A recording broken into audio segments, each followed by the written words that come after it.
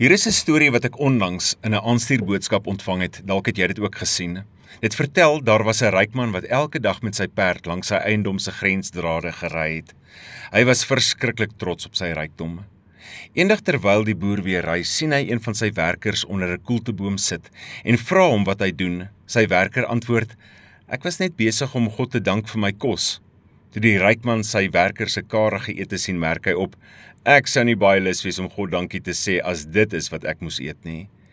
Die werker antwoord: Alles wat ek het, meneer, kom van die Here en ek is dankbaar daarvoor. Hy sê verder: Dis ironies dat u juis vandag hier verbykom want ek het laasnag 'n vreemde droom gehad. 'n Stem het gesê: "Die rykste man in die vallei sal vandag sterf."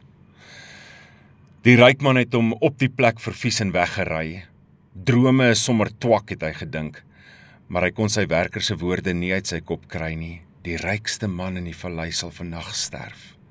As die droom waar was, het dit beteken hy sou daardie nag sterf. Hy tref toe voorsorg deur dadelik vir 'n doktersondersoek te gaan.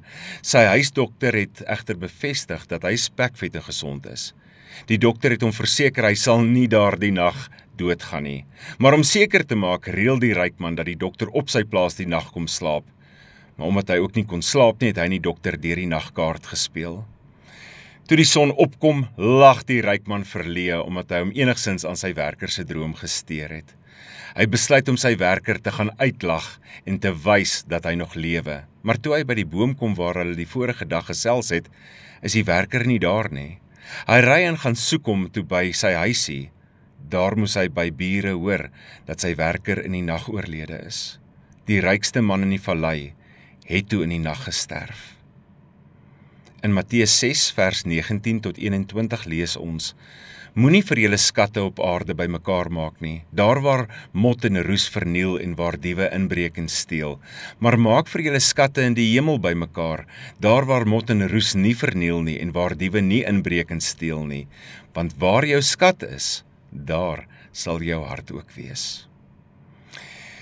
Here, ek besef net weer dat geld en besittings 'n mens nie ryk maak nie. Dit wat waarlik saak maak, kan nie in geldwaarde omgesit word nie. Maak my vandag waarlik ryk in liefdevolle verhoudinge met mense en met U, in geleenthede wat geleef is en waardes wat vrug dra. Amen.